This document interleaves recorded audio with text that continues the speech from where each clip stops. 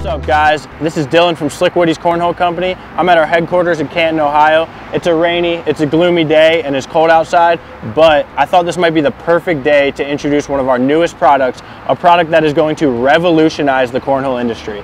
This board that I'm sitting on right here, at first glance, it might look like one of our number one rated, best-selling tournament boards that you may have seen on our site, but this board is a lot more than that.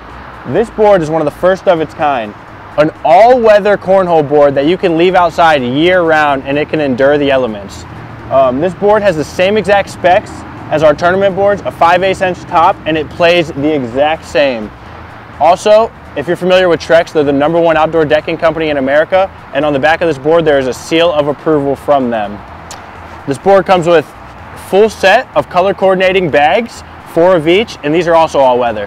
Thanks guys.